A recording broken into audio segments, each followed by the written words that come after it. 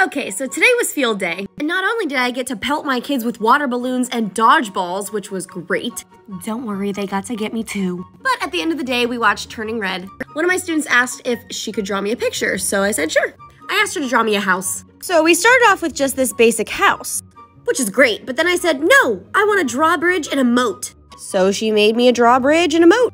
And I said, mm, that's great, but I also want an army of ducks.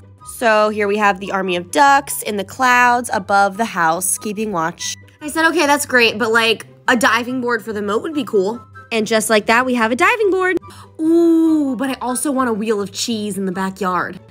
But y'all, instead of like a wheel of cheese that we were thinking like from the grocery store, she made me a literal wheel of cheese that you spin for cheese or nothing. One thing led to another. Now I have a cheese car, a monument to our king and ruler corner gym, this thing. Honey, I'm home.